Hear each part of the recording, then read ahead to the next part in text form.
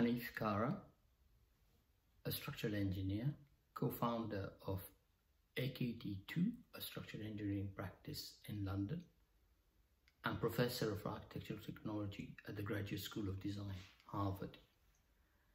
I'm here to tell you a little bit about my career and how I got to where I am. Now you might begin by wondering why an engineer is speaking on what is predominantly an architectural forum.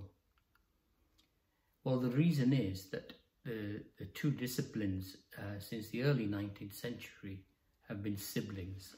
Through the Industrial Revolution, technology um, and the growth of technology made it such that the architects and engineers had to come together to produce the most incredible buildings. History has shown that as siblings, the architect is the creator and the engineer supports the ideas and also often contributes to how to put things together. That's the reason why I'm here to speak to you. I arrived in the, this country as an immigrant at about the time when I was supposed to be taking um, my O levels from East Africa with little knowledge of English and therefore at that age it was the only choice I had was really to take an apprenticeship in a in what was a steel fabricator's yard in in in Northwich in Cheshire. Through that, I attended a, a day release course as well as two evening classes in order to learn to be a draftsman in uh, and making buildings in steel.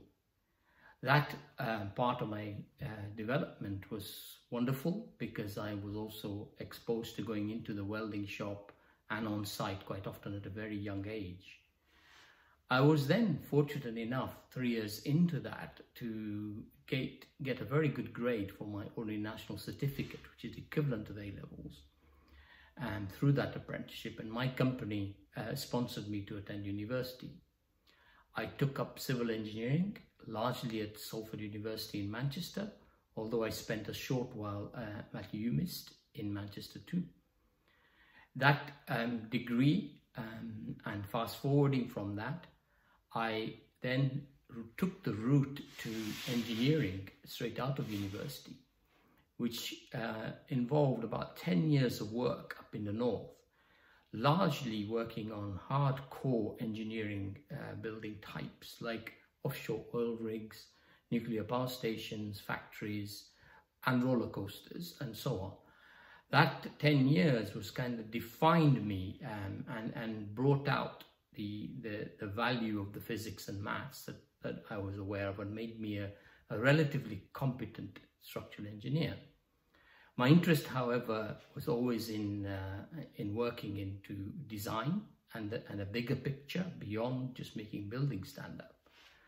I moved to London um, soon after that to work on the Battersea Power Station development, um, supervising the demolition of that. Um, and then there was a, a, crash in the market. It was the years of Margaret Thatcher. Um, we were about to lose jobs and uh, the construction industry was beginning to suffer. At that point, I chose to make a leap to join Anthony Hunt Associates for a short while. It was three or four years of, of, of, uh, of work with them, um, at which point we were hit by the 1993 crash of the exchange rate mechanism. The world ended and most of us were thinking that there would be no more careers, no more work um, for us. Um, the industry was shrinking fast. Inflation was very high. House prices were rocketing. So survival was, was the next um, agenda from, for me personally.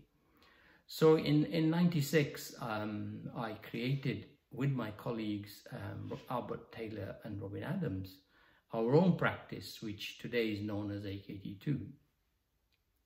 The motivations behind that was to stay in a career that I find rather um, passionate, passionate. I find it interesting, the, the whole of the built environment. Uh, and, and, also equally to, to try and define uh, the future of the disciplines of architecture and our own discipline of engineering through the lens of design. That was the, the motivation. And the early years were spent working for a lot of contractors because we had a lot of knowledge of how to make things and we were able to go in and do very quick designs. What was very interesting is that um, in I'd made a conscious choice also to keep my hand into a second career or a parallel uh, parallel existence, which was teaching.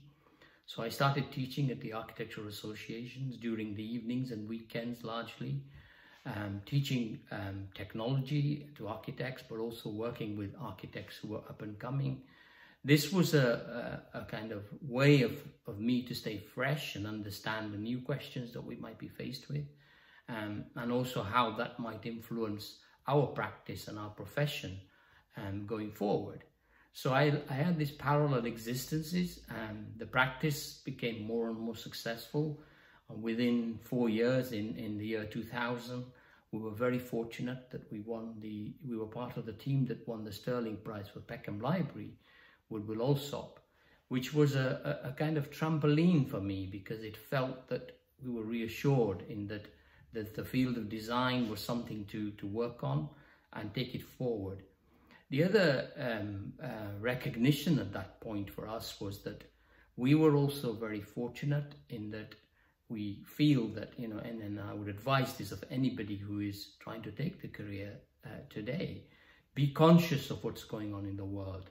We had become the first generation of the internet because in 93 that was invented and in 96 when we started our practice one of the reasons for keeping a hand in education and practicing at the cutting edge was really to to to dig deep into the digital the world of the digital and the new technologies that that would give birth to so keep keep an eye on that um, going on from 2000 um, we went on to build some incredible buildings all over the world uh, and we're very fortunate continuously to collaborate with some of the best architects that the world has to offer. We were fortunate also to work on many different types of buildings and bridges and uh, cultural buildings and so on. At about the same time, I was appointed um, at the Commission for Architecture and the Built Environment as a commissioner which reassured me that the wider discussion on design was the path that I should take and that the, the, the future of architecture was reassured, the future of the built environment could be improved by having these kind of organization. I was uh, at that point at another peak in my career because I was appointed Professor of Architectural Technology at the KTH in Stockholm for three years where I was teaching. And that was quite a, a height because they had never uh, appointed an engineer before. Um, and in that sense, you know, that gave me uh, another peak because I was then snapped up into the big world of Harvard at the Graduate School of Design, where I have been a professor for architecture technology for the past 12 years. In parallel, the practice has grown to about 350 people, and my main and, and, and important project throughout the last 25 years has been the construction of my own practice, construction of the next generations within the practice that can face up to the challenges that the world throws at us. So going on, um, I, I see the, the whole discipline and the, uh, the way in which we are moving forward today to be uh, uh, to have a, a, fantastic future. I think architecture and the built environment after agriculture is the most important thing we leave behind and, and touch the earth with. And therefore, I think it's an incredible career and it's very fortunate that you can walk past the things you work on, you know, the buildings you do daily, the incredible experiences of people, seeing people smile as they use these buildings.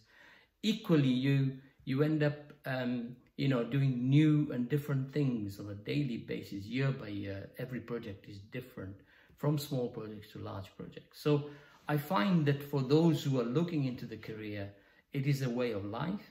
It is something that you will enjoy forever and ever, I, I would say. You will see it, you will see the results um, firsthand. It isn't easy and does take a long time, but it is uh, a career that I would recommend to all of you.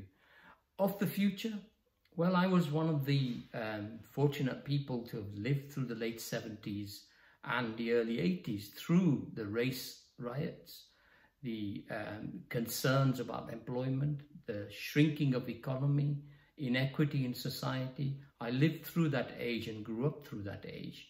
And that resonates quite a lot with what's going on uh, currently in the world. So my my hope is, and, and I believe quite strongly that the challenges that we're faced with have to have to be seen as opportunities again if you're thinking of taking this career. And in that, the climate crisis uh, is probably one of the most interesting challenges humanity faces. It's a massive opportunity for you if you join the career either as an architect or as an engineer in that career to have an influence on the protecting the rights of the next generations. I feel that it's a it's an opportunity that most of you uh, would would engage with and find interesting and probably um, enjoy. What I think is the most important thing about about my career is is it's become a way of life, and I absolutely adore it. Thank you very much.